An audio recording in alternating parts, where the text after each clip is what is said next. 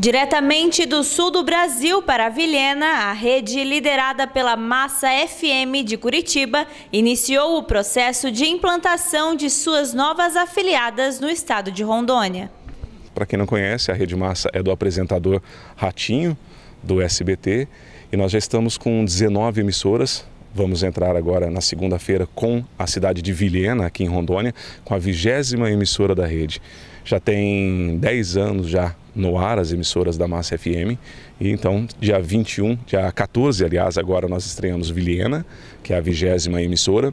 É, no dia 18, Colorado do Oeste, também aqui em Rondônia. No dia 21, estreamos em Jaú, no interior de São Paulo. É, dia 28 de, de janeiro, estreamos em Jaru, aqui em Rondônia também. E no dia 1 de fevereiro, a estreia, a estreia da rádio mesmo, né? Porque é, nas demais a gente está entrando em rádios que já existe e que está é, entrando como Massa FM agora, estão se afiliando à Massa FM.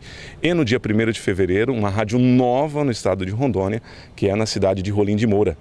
A Massa FM já está com expectativa em Vilhena, na sintonia 91,3 FM, antiga meridional.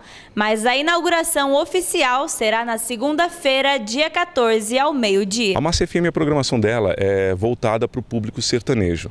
A gente não intitula que ela é uma rádio 100% sertaneja, mas ela é bem, bem próximo disso, como o pessoal diz, né? até porque a música sertaneja tem uma, uma variedade muito grande de estilos, é, pagode, cantores de pagode cantando com sertanejo, é, nacional cantando com sertanejo, forró misturado ali, gaúcho. Então a gente tem esse público voltado mais pro sertanejo. E como será a programação da inauguração da Massa FM? Olha, pessoal de Rondônia, de todas as praças que nós vamos estrear, pode esperar uma programação fantástica. E o forte mesmo da Massa FM, além da sua programação, além do, do artístico da, da Massa, são as promoções.